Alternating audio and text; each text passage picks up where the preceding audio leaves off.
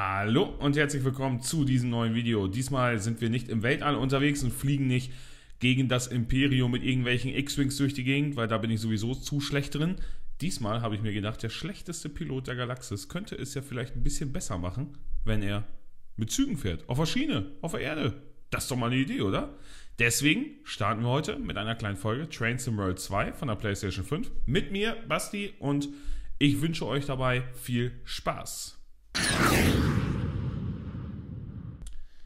So, und wir starten nämlich mit der Baureihe 146.2 an einem klaren Frühlingstag. Und zwar im Ruhrgebiet. Wir werden im Ruhrgebiet mit dem RE1 im Berufsverkehr um 6.55 Uhr von Bochum Hauptbahnhof nach Duisburg Hauptbahnhof, also fast die komplette Strecke dieses Add-ons fahren und damit starten wir doch mal. So, und jetzt befinden wir uns an Bord unseres Zuges, werden erstmal den Hauptschalter nach vorne stellen, werden die Fahrgastraumbeleuchtung aktivieren und werden jetzt, glaube ich, auch mal... Oh, wir müssen jetzt mal die Bremse aktivieren. Was ist hier denn los? Wir haben hier... Oh ja, Steigung. Also im Gegenteil, wie heißt das? Ähm, negative Steigung? Senkung? Ich bin vollkommen überfordert. Ich habe keine Ahnung, wie das... Was ist das Gegenteil von Steigung? Es gibt gar kein Gegenteil von Steigung, oder? Hm. Ich weiß es nicht. Auf jeden Fall machen wir das jetzt Ganze, das Ganze jetzt hier mal ein bisschen schick. Wir schauen mal kurz von außen, wie es hier aussieht. Oh ja, Rücklichter. Das ist ja perfekt. Also müssen wir erstmal auf die andere Seite gehen und hier die Spitzensignale.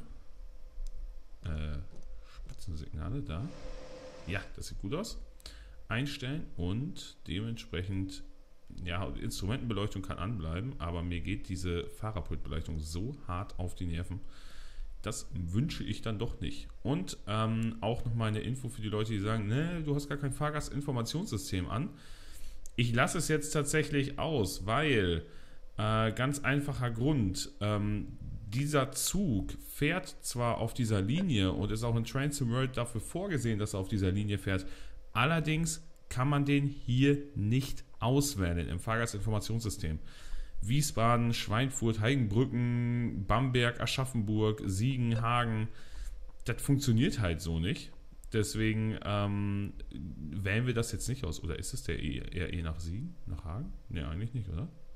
Ich weiß es nicht. Ich werde auf jeden Fall das Fahrgastinformationssystem nicht aktivieren. Wir werden hier oben keine Informationsleister haben und deswegen starten wir jetzt einfach mal durch. Linke Türen sind gesperrt. Die schließen jetzt gerade. Und jetzt dürfen wir uns gleich auf diese schöne Melodie freuen, wenn wir losfahren. Wir werden den Leistungsregler schon mal starten. Jetzt habe ich die AFB vergessen. Warte. Jetzt gleich werden wir wieder richtig schön runtergebremst. Professionell wie immer. Ah, nee, doch nicht. Nee, weil ich nicht stehe. Hm, schade. Aber gut. Die AFB werden wir dann einfach am nächsten halt aktivieren. Das ist auch kein Problem. Ah, aber wir werden auch nicht schneller. Ich habe den Zug kaputt gemacht.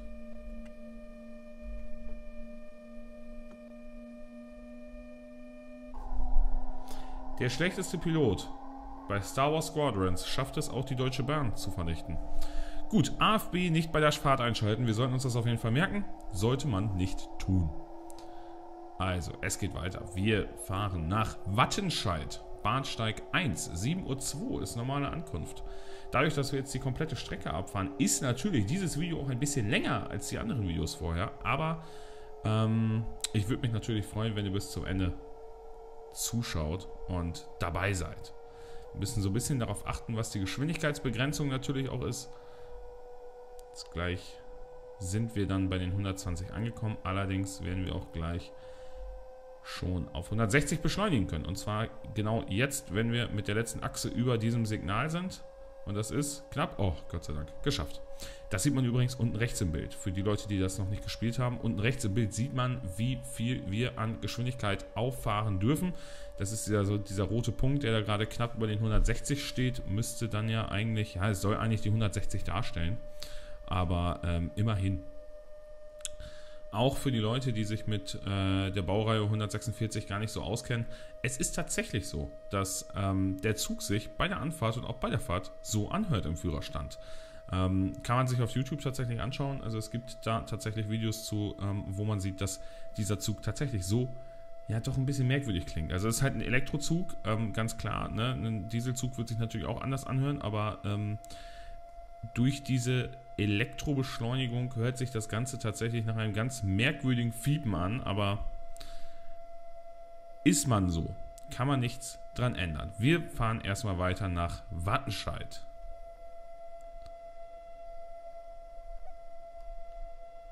Und gucken mal, was wir so in Wattenscheid dann machen. Ah, das sieht schön aus. Morgengrauen im Ruhrgebiet mit der Baureihe 146. Habe ich vorhin 143 gesagt? Ich weiß es nicht. Aber Morgengrauen im Ruhrgebiet mit ein bisschen Graffiti noch. Schön. Auch hier, ohne dass man den äh, Zug selbst hört oder den, den Zug, die, die, ähm, den Triebwagen selbst hört. Wir werden jetzt mal langsam aber sicher bremsen. Und oh ne, jetzt habe ich Notfall her. Eine Notfallbremsung sollte man jetzt halt nicht hinlegen, lieber Basti. Aber gut. Vielleicht passt es ja mit dem Bahnsteig. Ne, der Bahnsteig ist noch 500 Meter entfernt. Es passt definitiv nicht mit dem Bahnsteig. Also müssen wir die elektrische Bremse jetzt nochmal kurz stabilisieren und dann wieder Leistung aufschalten. Ja, wir kommen Stand jetzt aber ohne Verspätung in Wattenscheid an. Das ist schon mal gut. Ähm, das ist hier auch relativ schön ausgelegt. Also S-Bahn München kann ich so schon mal sagen aus dem anderen Erweiterungspack. Das ist ein bisschen kritischer. Wenn du da mal ein bisschen langsamer bist, dann wird das doch auch eng mit der weiteren Fahrplanung. Ähm, hier im Ruhrgebiet nehme ich das nicht so ernst. Da kann ich ganz gemütlich jetzt mal ein bisschen langsamer fahren. Und jetzt langsam die Bremse aktivieren. Und gehe mal komplett über die elektronische Bremse. Mal sehen, ob das funktioniert. Das wird nichts. Das wird nichts. Deswegen die Zugbremse auch noch dazu. Und dann können wir auch schon. Oh gut, ist jetzt ein bisschen, bisschen abgedriftet, aber gut. Türen entriegeln. Das ist eigentlich ganz kurz hier die elektrische Bremse wieder anwählen. Die stellen wir auf 0. Die direkte Bremse lösen wir auch. Und die Zugbremse, die lösen wir nicht. Die stellen wir mal auf Stufe 1b. Moin. Wo willst du denn hin? Nicht einsteigen. Das ist ja cool. Oh, ich wollte die AFB einstellen. Genau. AFB. Schön. So. Warum kann ich die jetzt nicht einstellen? Gibt es dafür einen Grund? AFB aus. AFB ein. Ne, es kommt auch nicht dieser schöne Ansage AFB. Okay. AFB möchte nicht. Gut. Noch ein Versuch. Nö.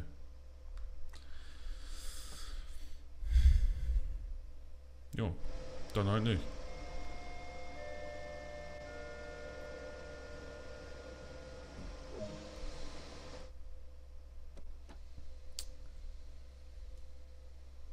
Aber gerade jetzt wäre eigentlich AFB echt schön.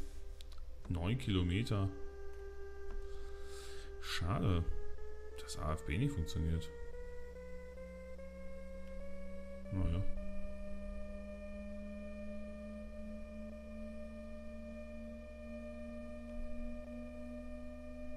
Ah, hier kann ich auch die Fahrgasttür einstellen. Was ist das hier? Direkte Bremse, ja, die werden wir jetzt mal nicht aktivieren. Notfallstromabnehmer. Was ist das denn? Äh, ist das gut?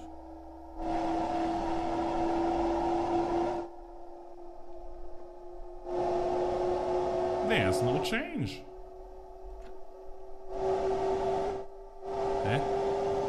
Das war jetzt nur wegen, wegen der Brücke, über die wir gefahren sind. Jo, weiß ich auch nicht. Ist halt so. Wir fahren hier mit 0,2% Steigung gerade an.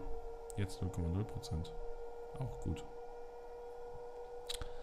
Schauen wir mal, wie es dann jetzt gleich in Essen Hauptbahnhof aussieht.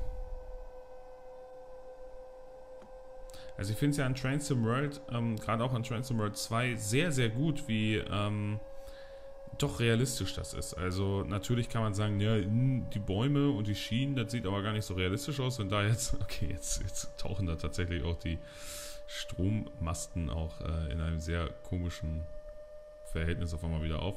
Aber man muss schon sagen, also für eine Zugsimulation, wenn man sich überlegt, ähm, ich habe als Kind immer gerne Zugsimulator gespielt auf dem PC und ähm, wenn man sich überlegt, wie, wie nah das mittlerweile an der Realität ist. Also wir reden jetzt nicht über die Umgebung, darüber kann man sich streiten, aber wir reden halt wirklich über die, über die ähm, Züge selbst, über die Triebwagen, über die Geräusche, über die Waggons. Also allein dieses dass ich gleich, das kann ich gleich mal kurz zeigen. Wir haben tatsächlich die Möglichkeit, auch hier in diesem Regionalexpress, ähm, in den Regionalexpress einfach mal einzusteigen. Natürlich nur während wir stehen, also im ICE konnten wir auch durch die Gegend laufen äh, während der Fahrt. Das geht natürlich hierbei nicht. In 1,5 Kilometern müssen wir auf 140 km/h reduzieren. Deswegen lasse ich jetzt schon mal die Leistungsaufschaltung weg. Hm, trotzdem ist es natürlich so, dass äh, wir... Oh, was habe ich denn jetzt gemacht? Ah, okay. Ähm, trotzdem ist es natürlich so, dass, dass wir äh, außerhalb der Fahrt, sprich gleich am, am, äh, am Essen Hauptbahnhof Bahnsteig 2, äh, können wir auf jeden Fall mal kurz da reinschauen, was denn so in dem Zug zu sehen ist, ob es da irgendwelche Besonderheiten gibt, etc. Natürlich, wenn jetzt hier Leute unter euch sind, die ähm, ein bisschen mehr zum Thema Zugsimulationen oder auch Zugfahrten selbst wissen. Es ist natürlich nicht realistisch, was ich hier gerade tue. Also ich, ich fahre ohne, AF, äh, ohne AFB ja sowieso, weil es nicht funktioniert, ich würde es ja gerne, aber ohne SIFA, also ohne den Sicherheitsfahrschalter, ohne PZB, ohne LZB, weiß gar nicht, ob das auf dieser Strecke verfügbar wäre, aber generell ohne SIFA, PZB und LZB sieht man auch hinten, alles ist deaktiviert. Ähm, Hintergrund ist einfach, dass ich das so für ein YouTube-Video lockerer finde, wenn natürlich mal gewünscht ist, dass man sagt, Mensch, hier fahr doch mal mit LZB, PZB und SIFA. Da sehen wir nämlich mal, wie man richtig ähm, versagen kann, sage ich mal so. Dann äh, mache ich das natürlich auch. Dann schreibt es einfach in die Kommentare. Ich muss aber auch tatsächlich ehrlich sagen, ich äh, habe ähm, schon einige Male auf der Hauptstrecke München-Augsburg, was meine persönliche Lieblingsstrecke in Transom World ist, ganz einfach aus dem Grund, dass ähm, dass das dass, ähm, Familie von mir auch in der Großraumregion München wohnt, sodass ich auch auf dieser Strecke schon häufiger mal wirklich war. Ähm, ich habe es schon häufiger versucht, mal mit PZB zu fahren. Ähm, mit LZB ist ja kein Thema. Mit SIFA ist es auch kein Thema. Aber PZB, sorry, kann ich mich gar nicht mit anfreunden. Also verstehe ich null. Ich verstehe nicht, was die PZB von mir will. Ich habe mir YouTube-Videos dazu angeguckt. Ich weiß mittlerweile, dass das im Endeffekt ein Magnet, Magnetstein, kann man sagen, ist und so weiter und so fort. Das weiß ich alles. Aber ich verstehe es nicht, weil ich denke, ich habe es verstanden und fahre dann auf einmal über so ein Magnetfeld, denke, ich habe es bestätigt, denke, es funktioniert jetzt alles, dachte, ich bin langsam genug, habe nicht genug, habe nicht zu viel Leistung aufgeschaltet und, und, und, und, und. Trotzdem bekomme ich eine Zwangsbremsung. Und ähm, da, deswegen, ich, ich verstehe das System nicht. Aber ähm, das ist einfach, das bin einfach ich. Das, das funktioniert einfach nicht. Jetzt fahren wir gerade in Essen Hauptbahnhof an. Ich finde das sehr schön, dass hier jetzt gerade auch nochmal ähm, die anderen Bahnen sind. Natürlich, auch wenn es wieder in Richtung Realismus geht, es ist an einem Hauptbahnhof. Das habe ich schon in München gesagt. Natürlich deutlich mehr los als jetzt gerade hier in dieser Simulation. Man muss da aber auch Duvetel Games in Schutz nehmen, weil ähm, es sind natürlich wahrscheinlich, denke ich jetzt mal, das ist meine amateurhafte Meinung, ähm, es sind wahrscheinlich auch gar nicht die Rechte da, um hier die ganzen Züge, die hier auf dieser Strecke fahren, überhaupt abbilden zu können. Und man muss auch dazu sagen, dass man das Spiel ja auch irgendwie so so nah an die Menschen bringen möchte wie nur möglich. Also, dass das auch möglichst jeder spielen kann und äh, nicht jeder spielt das auf der Playstation. Also, die meisten Leute spielen es ja auf dem PC. Und äh, wenn man sich überlegt, wie viel, wie viel Arbeitsspeicher und auch CPU-Leistung und Grafikleistung das überhaupt frisst, wenn du 17 Züge gleichzeitig irgendwo stehen hättest, die du alle irgendwie ähm, simulieren musst, wie die losfahren, wie die mit ihren Tönen sind und so weiter und so fort das kann dann mal ebenso die Grafikleistung in Längen reduzieren, weil ähm, das, glaube ich, nicht viele Systeme packen können. Also ich spiele es jetzt gerade auf der PlayStation 5 und das finde ich persönlich sehr gut. Das macht mir sehr viel Spaß hier drauf. Ich muss allerdings auch sagen, dass ich ähm, auf der PlayStation 4 Probleme hatte.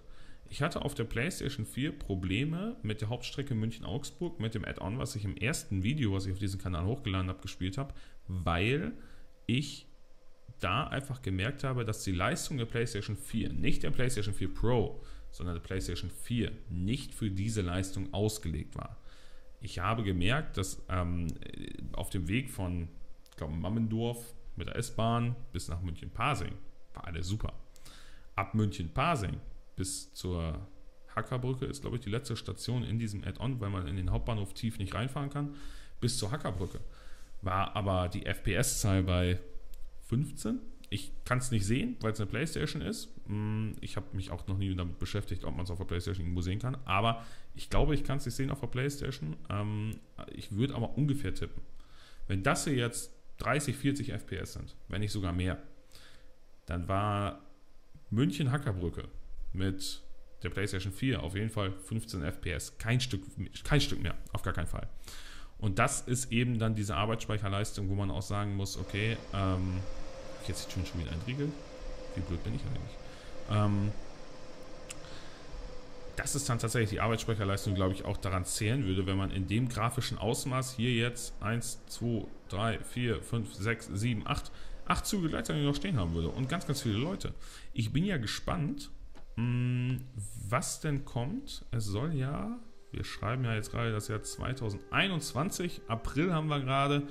Und ich bin ja gespannt, ähm, was passiert. Am, irgendwann im Mai soll, glaube ich, ein ähm, Update kommen, welches dann Rush Hour heißt. Wenn ich das richtig im Kopf habe, korrigiert mich, wenn ich da falsch liege.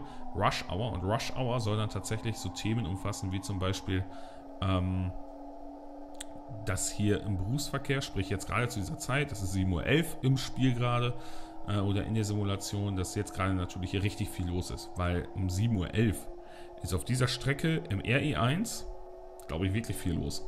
Da bin ich mir ziemlich sicher. Aber gut, das sei mal so dahingestellt.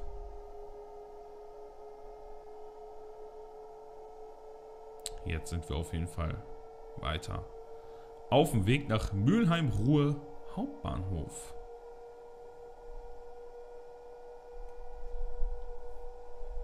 Und dürfen gleich auf 130 und dann etwas später auf 160 km/h aufschalten. Das tun wir, es sind noch über 8 Kilometer. Da nehmen wir natürlich die höheren Geschwindigkeitsbegrenzungen mit und werden die natürlich auch nutzen.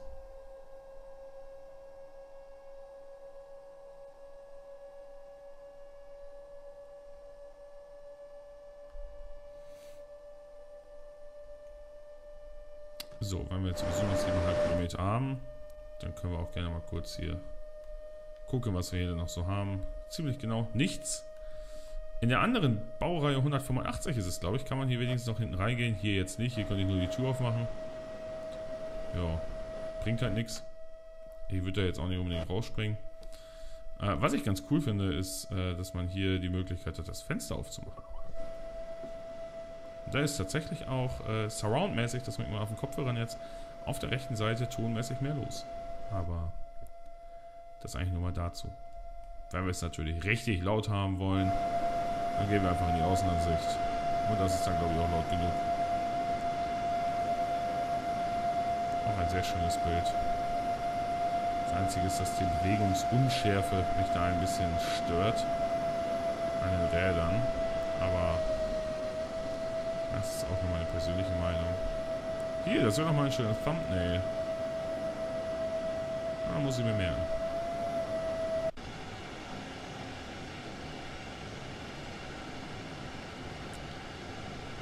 So. Noch 4,7 Kilometer bis Mülheim-Ruhr Hauptbahnhof, Bahnsteig 6. 7.18 Uhr sollen wir da ankommen. Mal sehen, ob wir es pünktlich um 7.18 Uhr schaffen. Wie sieht denn generell unsere Route hier so aus? Ja, wir haben schon viel geschafft. Ich denke, dass wir so circa nach 30 Minuten Aufnahmezeit, ich bin jetzt bei Rohaufnahmezeit 22 Minuten, ähm, tatsächlich alle die ganze Strecke abgefahren haben können. Könnte sogar klappen. 30 Minuten, ja. Ist, glaube ich, relativ realistisch sogar. Schauen wir mal. Warum fahre ich ja nicht so langsam? Ich kann doch mal wieder Gas geben hier. Was soll das denn? Bereits im ersten Video habe ich ja gesagt, es gibt verschiedene Add-ons für dieses Spiel. Ähm, heute mehrfach erwähnt habe ich ja das Add-on Hauptstrecke München-Augsburg. Ähm, oder München, das Add-on Augsburg, München-Augsburg, ich weiß gar nicht, ob da Hauptstrecke dabei war, aber auf jeden Fall München-Augsburg. Was ist jetzt? Warum bin ich denn jetzt auf einmal so viel zu schnell? Ähm, habe ich wohl wieder nicht drauf geachtet. Ja, moin! Naja. Ähm, was wir jetzt gerade spielen, ist Hauptstrecke Rhein-Ruhr. Und äh, die Hauptstrecke Rhein-Ruhr ist übrigens ein Add-on aus Train Sim World 2020. Nicht aus Train Sim World 2. Finde ich auch ganz interessant, dass hier tatsächlich für Train Sim World 2 dieses Add-on einfach mit übertragen wurde. Mit der Steuerung, die auf der Playstation ja für Train Sim World 2 wirklich ein bisschen anders ist als bei Train Sim World 2020. Ähm, Finde ich aber sehr gut, dass diese Add-ons mit übernommen worden sind, weil äh, die sind durchaus sinnvoll. Finde ich sehr schön. Bremse gehen wir jetzt mal in volle Leistung, weil mal wieder haben wir viel zu spät gebremst. Also ich wäre wirklich ganz ehrlich, wenn man bei mir mitfahren würde, ich würde mich aufregen darüber, wie bescheuert dieser Lokführer fährt. Ja, so langsam müssen wir jetzt auch nicht sein. Komm, geh nochmal Gas hier. Ja, es ist ja unglaublich, wie ich hier fahre. Aber ganz ehrlich, 7.18 Uhr sollen wir da sein. Es ist 7.16 Uhr. Also da können die Leute in Mülheim ja auch mal locker sein. Wir sind ja nicht zu spät. Die Leute im Zug haben wahrscheinlich Probleme mit Übelkeit. Könnte sein, kann ich verstehen. Aber auch das gehört zum guten Zugfahrt im Ruhrgebiet, glaube ich, dazu. So. Dann wollen wir mal... Ja, jetzt wieder volle Leistung. ist auch irgendwie heftig, ne? Machen wir mal... Drei.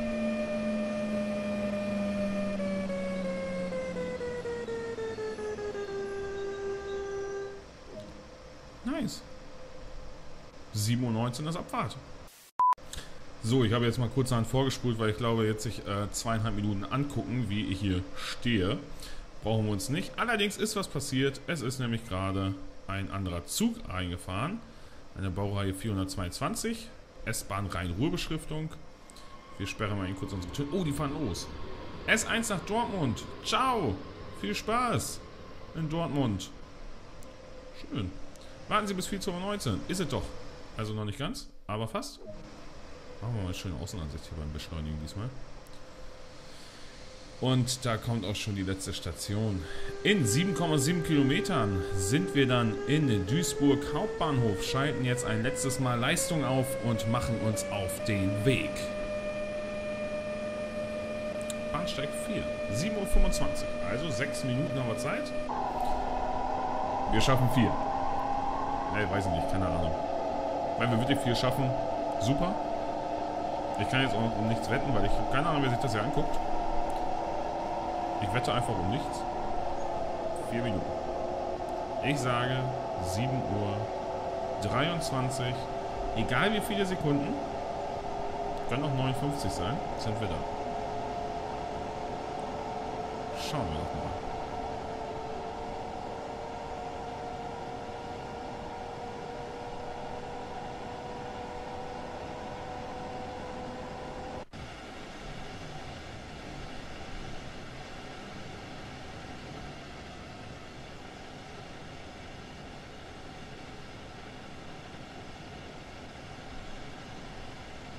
Leistungsregler stellen wir jetzt so auf Maximum.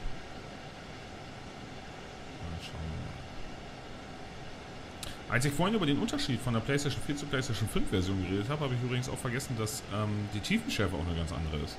Also die, die äh, Oberleitung zum Beispiel, die sehen in der PlayStation 4 Version auf Full HD Einstellung total blöd aus, bin ich ganz ehrlich. Ähm, natürlich hier jetzt auch nicht wunderschön, aber viel besser als ähm, auf der ähm, PS4-Version. Also das hat mich tatsächlich relativ gewundert, auch ein bisschen enttäuscht.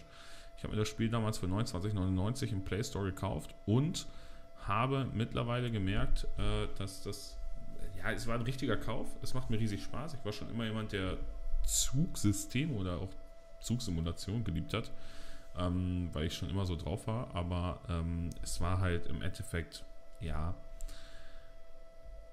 schon Kauf, wo man sich nach 29,99 dachte, ich habe mir YouTube-Videos angeguckt von be bekannten Let's Playern wie Heideltraut oder sowas, die das gespielt haben und ähm, habe mir dann doch gedacht, als ich das geöffnet habe und äh, auf einem großen Full-HD-Fernseher ähm, oder sogar 2K kann der glaube ich sogar äh, Fernseher gesehen habe, wie die Grafik dann ist auf der Strecke Aachen-Köln oder Köln-Aachen war ich dann doch relativ enttäuscht. Das war ein bisschen schade. Aber ich kann jeden nur ans Herz legen, ähm, der sich für solche Systeme interessiert, ähm, also für Zugsysteme, für Zugsimulatoren und sowas, kauft euch dieses Spiel. Das ist keine Werbung. Ich bin ein so kleiner YouTuber, dass ich keinen einzigen Cent jemals an diesen Videos verdienen werde.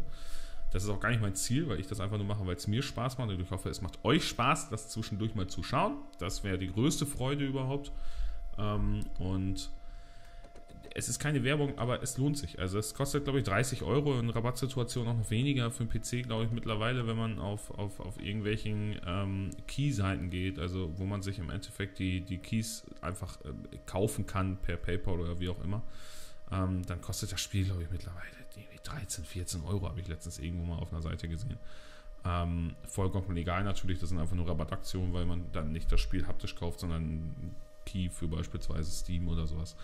Ähm, und ich muss tatsächlich sagen, es hat sich gelohnt. Also 30 Euro dafür ausgeben lohnt sich, weil ähm, dieses ganze individuelle, also es ist wirklich wie Flight Simulator mit allen Knöpfen, die du drücken kannst, auf gut Deutsch gesagt, nur halt mit Zügen und äh, für Leute, die Züge schön finden und auch Zugsimulatoren interessant finden schon früher, für die ist das wirklich was. Also das ist wirklich ein tolles Game. Natürlich, es ist eine Simulation, die müssen irgendwie Geld in die Kassen bringen, sage ich auch ganz ehrlich. Und wie machen sie es? Natürlich mit Add-ons. Man sollte nicht so krank sein wie ich. Und es gibt ja YouTuber, die verdienen damit Geld. Und für die sind das Business-Ausgaben. Für mich natürlich nicht. Bedeutet, ich gebe tatsächlich, ich bin wirklich so krank und äh, gebe für diese Add-ons Geld aus. Das Add-on München-Augsburg hat mich 29,99 gekostet. Das war das teuerste Add-on, was ich gekauft habe. Die restlichen habe ich alle gekauft, wenn die irgendwo im PlayStation Store im Sale waren. Das hier hat mich, glaube ich, 12,99 gekostet. Ob das 12,99 wert ist, ob man für so ein Add-on 12,99 ausgeben sollte, das bleibt jedem selbst überlassen. Ich persönlich habe es gemacht. Ich habe es auch eigentlich ehrlich gesagt gar nicht bereut. Also ich fand es eigentlich ganz gut. Ja komm, fahren wir nochmal in den Bahnhof rein. Ah, tun wir nicht. Er sagt, tu in den Regeln. Also Bremse, anlegen. Sind wir denn überhaupt in den ganzen Zug? Nein! Der letzte Bahnhof. Ne, vergiss es, Leute. Vergiss es, Leute.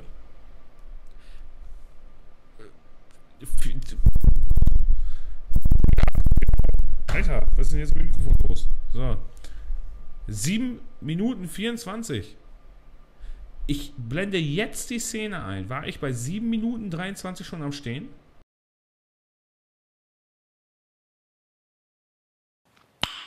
Nice. War ich, oder? Vielleicht noch nicht. Je nachdem was. Ich fände cool. Dann hätte ich eine Wette gegen mich selbst gewonnen. Und wenn ihr euch fragt, was mir das bringt.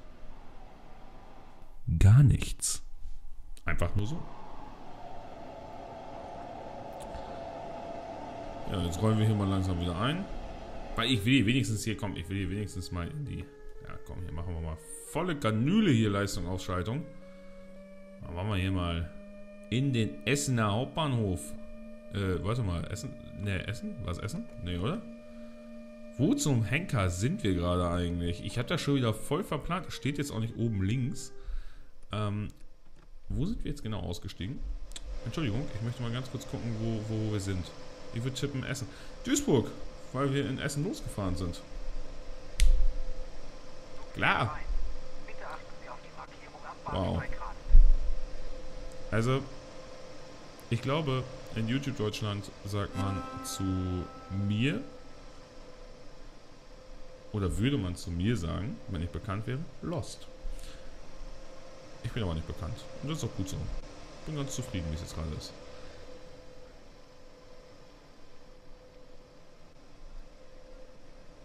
Schöne, schöne Animation tatsächlich. So, also, wir steigen nochmal kurz ein. Werden dieses Projekt hier jetzt abschließen, indem wir nochmal im Lokführer Platz nehmen und die Türen verriegeln. Und dann kommt noch ein letztes Mal diese schöne Melodie. Hört sich so ein bisschen an wie äh, meine Schulklingel früher. Aber immerhin. Und damit haben wir es geschafft. Wie waren wir denn so unterwegs? 31 Minuten 17. 34,08 Kilometer. Ich bin 294 Meter gelaufen. Warum? Haltegenauigkeit, das ist mal interessant zu sehen. Haltegenauigkeit 82,5, 42,2, 37,4 und 190 Meter. Ja, das war ja auch jetzt der letzte Halt. Also da kann man auch mal ein bisschen früher einfahren, die letzten Waggons noch vorm Bahnhof stehen lassen, ist ja auch egal. Auf jeden Fall war es das von heute. Vielen, vielen Dank fürs Zuschauen. Ähm, für alle, die bis jetzt da geblieben sind, danke fürs Zuschauen. Und ähm, wir sehen uns beim nächsten Mal wieder. Sagt mir Bescheid, ob ihr solche Videos gerne häufiger sehen möchtet. Mit Trains in World, Star Wars Squadrons spielen wir ja genug. Und ich denke, ähm, das war heute mal ganz cool. Wir haben heute mal das Ruhrgebiet ein bisschen kennengelernt und man hat gemerkt, ich bin ein schlechter Pilot. Bei der Deutschen Bahn hätte ich jetzt auch nicht die großen Chancen. Aber Gott sei Dank arbeite ich weder für irgendein Imperium noch für die Deutsche Bahn, also kann ich damit zufrieden sein. Wir sehen uns beim nächsten Mal. Wenn euch das Video gefallen hat, lasst gerne ein Like und ein Abo da. Bis dann. Tschüss.